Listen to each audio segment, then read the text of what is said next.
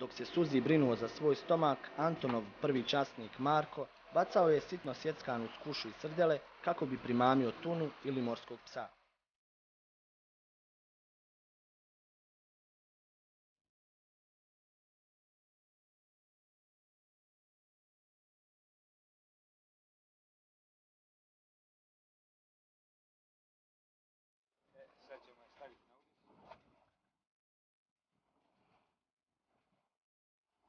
Koliko je sud sad?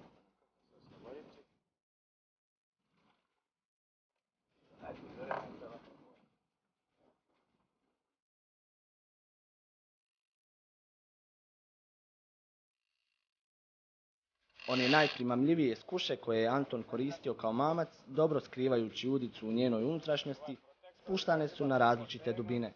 Prva je išla na dubinu od 40 metara, druga na 55, treća na 70 i četvrta na dubinu od 110 metara.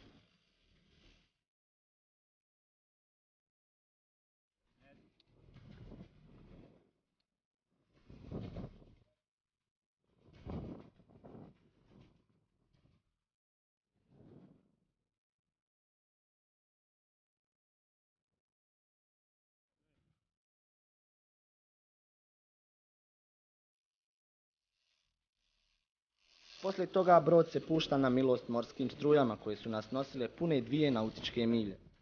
Od svih štapova najlon jednog je bio veoma zategnut. Bio je to onaj na dubini od 70 metara. Namotavajući ga znali smo da imamo ulov, ali ne i kakav. Pas, čuvaj, čuvaj. Čekaj, čekaj, čekaj. Daj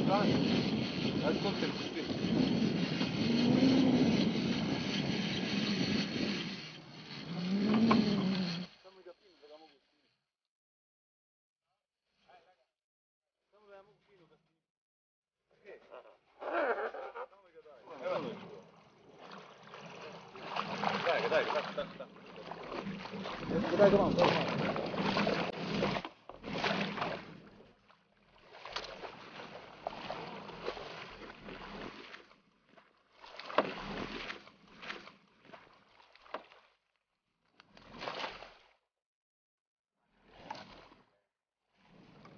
Ten.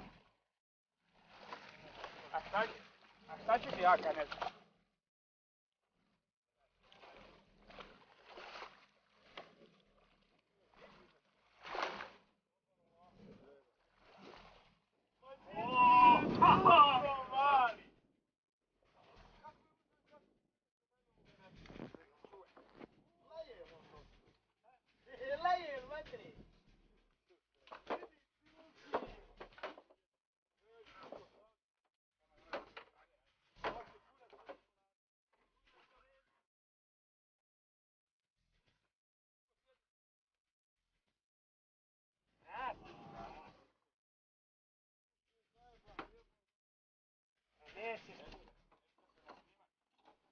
nisam ti ja, stani.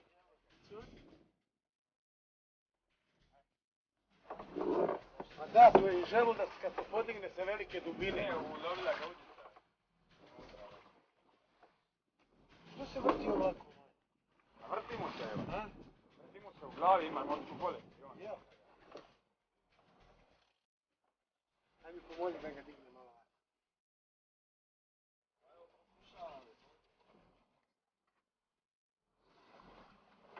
Modrulj.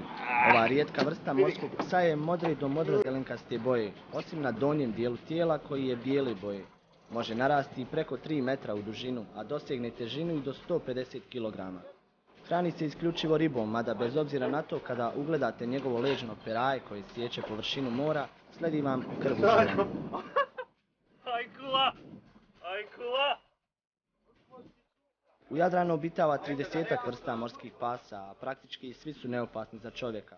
Od metar dugog kostelja do 12 metara dugačke gorostasne psine koja se hrani planktonom. Oni čovjeku stvarno opasni, vrlo su rijetki.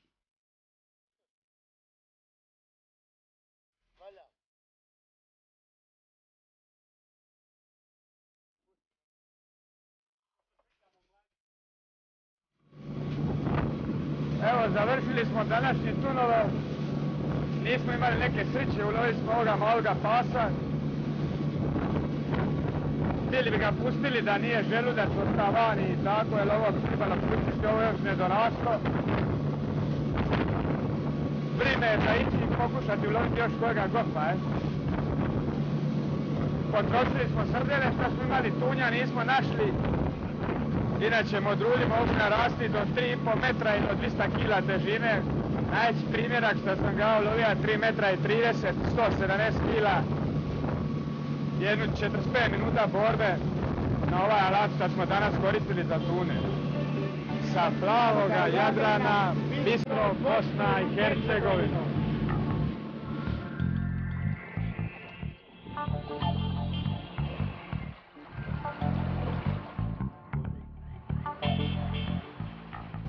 Samo predvečerje već smo bili navikli na ljuljanje broda. Iako je to najpogodniji period za lov na gofa, za iglice baš i nije. Ipak uspjeli smo uloviti njih tri, iako smo već izgubili dosta vremena.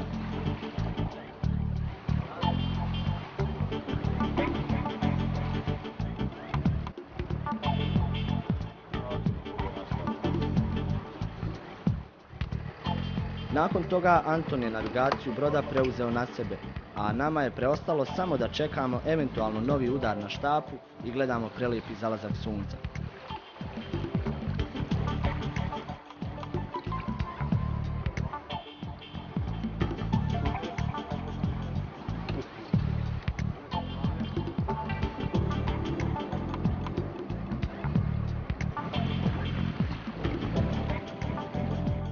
Ovo je morski fly fishing. Ufati i pusti.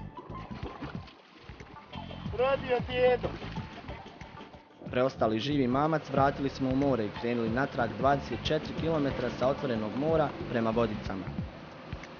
Vodice kao big game fishing destinacija na Jadranu nameću se kao pravilan izbor, prvenstveno zbog toga što su blizu najbogatijih ribolovnih područja na cijelom srednjem Jadranu, a nameću se i iskustvima naših ribara i kapetana, čiji ulovi sami za sebe potvrđuju da nismo pogriješili u odabiru i da ćemo sigurno morati doći ponovo po tunu.